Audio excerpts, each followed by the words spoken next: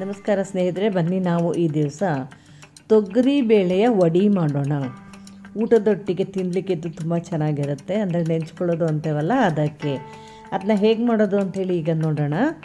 ಒಂದು ಕಪ್ಪಷ್ಟು ತೊಗರಿ ಬೇಳೆನ ಒಂದು ನಾಲ್ಕೈದು ಗಂಟೆ ಕಾಲ ನೆನೆಸಿ, ಹಾಗೆ ಒಂದು ಸಣ್ಣ ಕಟ್ಟು ಕೊತ್ತಂಬರಿ ಸೊಪ್ಪನ್ನು ತೊಳೆದು, ಒಂದು ಸ್ವಲ್ಪ ಕರಿಬೇವಿನ ಸೊಪ್ಪು, ಒಂದು ಚಮಚ ಜೀರಿಗೆ, ಒಂದು ಇಂಚು ಇಂಗು, ಇದನ್ನೆಲ್ಲ ನಾಲ್ಕೈದು ಹಸಿಮೆಣಸು ಇದನ್ನೆಲ್ಲ ಚೆನ್ನಾಗಿ ಸಣ್ಣದಾಗಿ ಹಚ್ಚಿ ಹಾಗೆ ನಾಲ್ಕೈದು ಪೆಪ್ಪರ್ ಪಾಟ್ಸ್ ಅಂದರೆ ಕಾಳುಮೆಣಸು ಹಾಕಿ ಹೀಗೆ ಡ್ರೈ ಗ್ರೈಂಡ್ ಮಾಡ್ಕೊಳ್ಳಿ, ಪುಡಿ ಪುಡಿಯಾಗಿರಲಿ.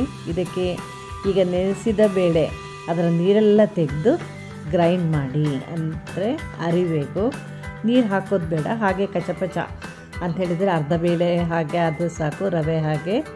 ಅದನ್ನು ತೆಗೆದು ಒಂದು ಪಾತ್ರೆಗೆ ಹಾಕಿ ಈಗ ಅದಕ್ಕೆ ಬೇಕಾದಷ್ಟು ಉಪ್ಪನ್ನು ಸೇರಿಸಿ, ಚೆನ್ನಾಗಿ ಕಲಸಿ, ಒಂದು ತಟ್ಟೆಗೆ ಸ್ವಲ್ಪ ತುಪ್ಪ ಸವರಿ ಅದನ್ನು ಕುಕ್ಕರ್ನಲ್ಲಿಟ್ಟು ಸ್ಟೀಮ್ ಮಾಡಿ. ಒಂದು ಹತ್ತು ನಿಮಿಷ ಕಾಲ ಸ್ಟೀಮ್ ಮಾಡಿ ತೆಗೀರಿ. ಈಗ ತೆಗೆದದನ್ನು ಸಣ್ಣ ಸಣ್ಣ ತುಂಡು ಮಾಡಿ ಒಂದು ಕಾವಲಿಯನ್ನು ಒಲೆ ಮೇಲೆ ಇಟ್ಟು ಬಿಸಿ ಮಾಡಿ ಒಂದು ಎರಡು ಚಮಚದಷ್ಟು ಸಣ್ಣ ಚಮಚದಷ್ಟು ಎಣ್ಣೆ ಹಾಕಿ ಅದನ್ನು ಕಾಯಿಸಿ. ಮೀಡಿಯಮ್ ಫ್ಲೇಮಲ್ಲಿ ಕಾಯಿಸಿ. ಹಾಗೆ ಅದನ್ನು ಮತ್ತೊಂದು ಬದಿ ಸಹ ಕಾಯಿಸಬೇಕು. ಸ್ವಲ್ಪ ಎಣ್ಣೆ ಬಳಸಿದರೆ ಸಾಕು.